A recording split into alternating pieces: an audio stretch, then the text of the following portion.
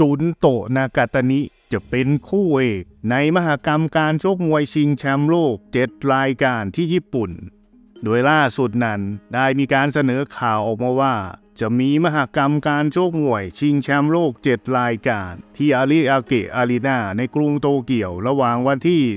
13-14 ตุลาคมนี้ ซึ่งคู่เอกจะเป็นการชกป้องกันแชมป์ของทางจุนโตนากาตานิ ซึ่งเขาเป็นแชมป์โลกในรุ่นแบนตัมเวทของ WBC เขาจะขึ้นชกกับทางเพชรสอจิตพัฒนา นักชกจากประเทศไทย ในวันที่ 14 ตุลาคม ส่วนคู่อื่นก็จะมีทางทาคุมะอินุเอะแชมป์โลกรุ่นแบนตัมเวทของ WBA เขาจะขึ้นชกกับทางเซยะซึซึมิ ซึ่งเป็นผู้ท้าชิงในอันดับที่ 3 ชาวญี่ปุ่นโคโคเซ ทานากะ เจ้าของเข็มขัด ในรุ่นจูเนียร์แบนตัมเวทของ WBO เขาจะป้องกันแชมป์กับทาง พูเมเลเล คาฟู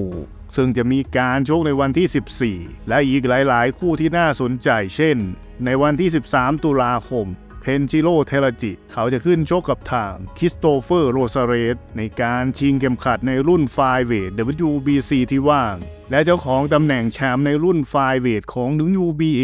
เซโกยูริอาคุย เขาจะขึ้นชกกับทางนักชกไทยอีกคน คือธนันชัยจรูญภักดิ์ และทางโชคิจิอิวาตะ เขาจะขึ้นชกชิงแชมป์เข็มขัดในรุ่นจูเนียร์ฟลายเวทของ WBO ที่ว่าง กับทางไจโร